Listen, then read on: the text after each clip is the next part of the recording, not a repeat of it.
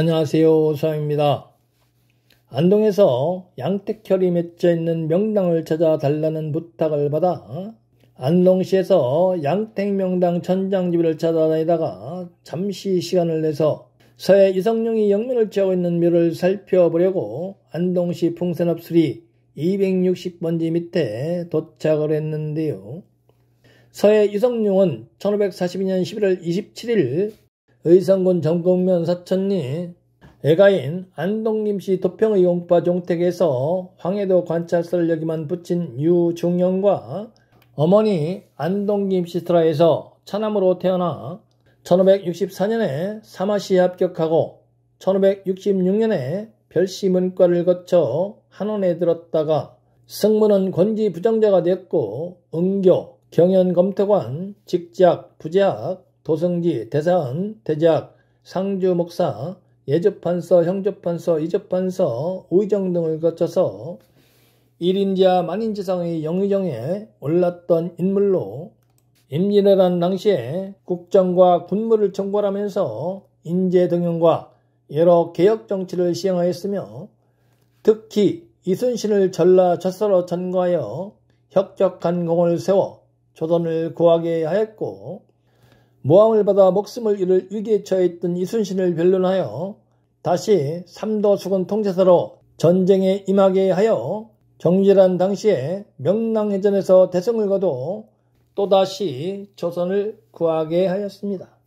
유성룡은 임진하는 당시에 공원을 높이 사서 청란 원정공신 1등의 책록이 되었으며 1607년 5월 31일 날 66세를 일기로 세상을 등져 안동시 풍산업술이 산다시 1번지에 초장을 하였다가 후에 손자인 절제 유원지가 현재 영면을 취하고 있는 이곳으로 이장을 하였다고 합니다. 묘지로 올라가 보겠습니다.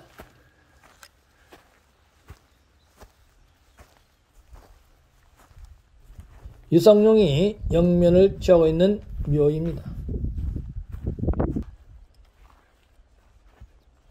비석에는 영의정 문충공 서해 유선생 지묘 정경부인 이씨 불화되어 있네요. 저측에 망주석과 문인석이 갖춰져 있고 우측에도 좌측과 동일한 성물이 갖춰져 있습니다.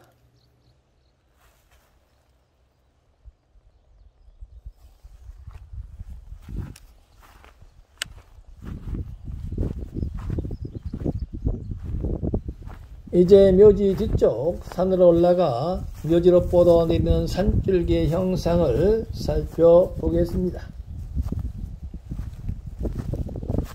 묘지 뒤쪽으로 약 190m 정도 올라왔는데요.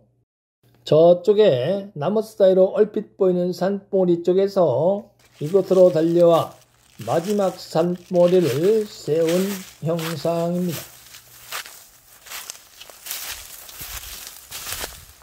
마지막 산봉우리를 세운 이곳에서 묘지는 우측으로 갈라진 산줄기에 자리 잡고 있으므로 우측으로 갈라진 산줄기를 따라 내려가 보겠습니다.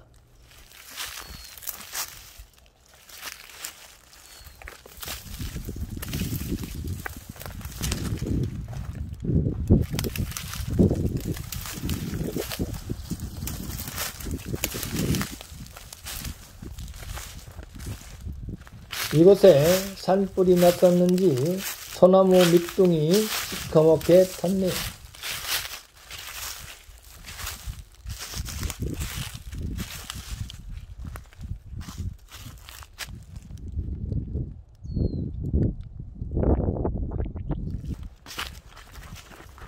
이곳에서 우측으로 다시 갈라지는 산줄기가 있고 묘지는 이곳으로 뻗어내리는 산줄기 끝자락에 있는데요.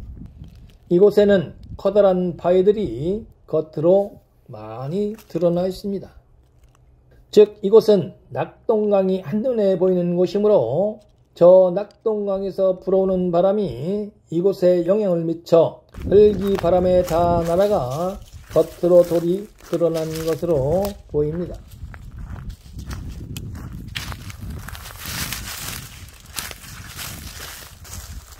경사가 다소 급하긴 하지만 조심해서 내려가 보겠습니다.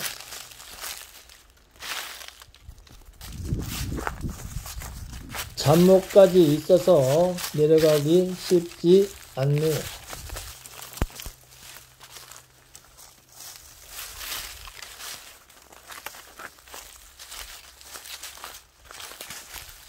이제 산줄기가 흙으로 바뀌었습니다.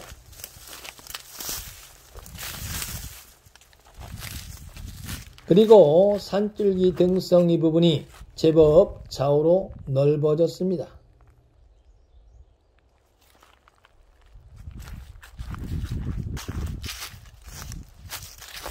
이제 앞에 묘지가 어렴풋이 보이는데요.